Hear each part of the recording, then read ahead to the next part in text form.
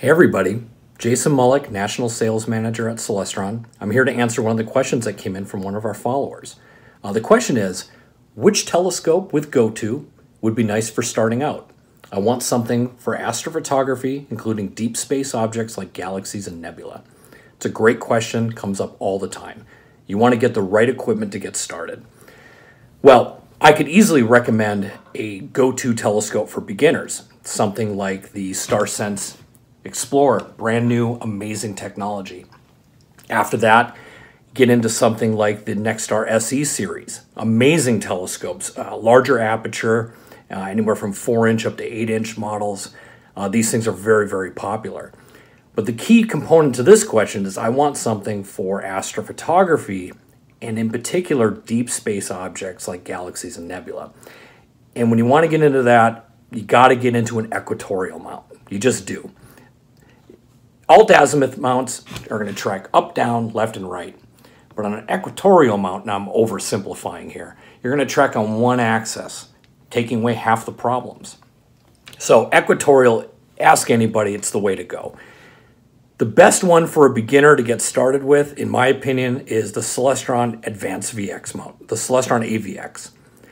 The AVX mount has features that are perfect for a beginner, um, it can hold tubes up to 30 pounds. Uh, you can start off with a simple six inch model. Um, heck, you can even have the old telescope that you used to use, like for example, let's say you bought a Nexstar 6SE years ago. You can take that tube off, put it right on your equatorial mount on the Advanced VX. AVX also has features it's ready for all-star polar alignment. Uh, this is an amazing feature that allows you to be guided right into extremely accurate polar alignment. Uh, it does it right for it, walks you right through it. Um, you can uh, hold instruments up to 30 pounds.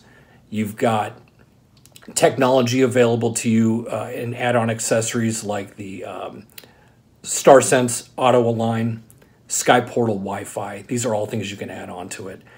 So really, to, to answer the question specifically, hey, which product?